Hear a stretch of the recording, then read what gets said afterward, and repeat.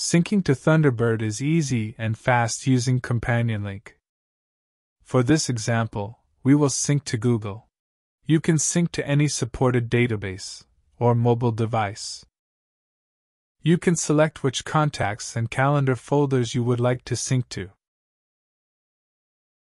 Change sync direction.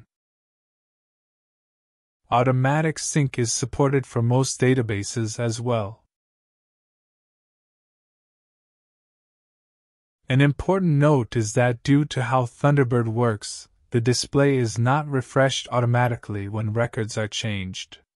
So you need to close and reopen Thunderbird to see the changes. New contacts are now displayed. For calendar, you may need to click Enable as shown. Tasks can be synced as well.